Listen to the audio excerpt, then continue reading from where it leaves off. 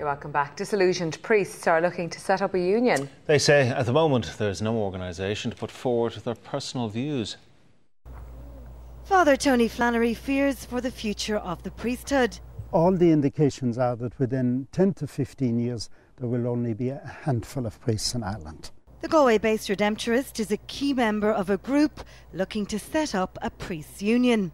It's a very difficult time for priests, and we feel that at this mm. time it's important that we as a body have some sort of coherent voice. Priests across the country are now being actively canvassed, and early indications suggest that interest is strong.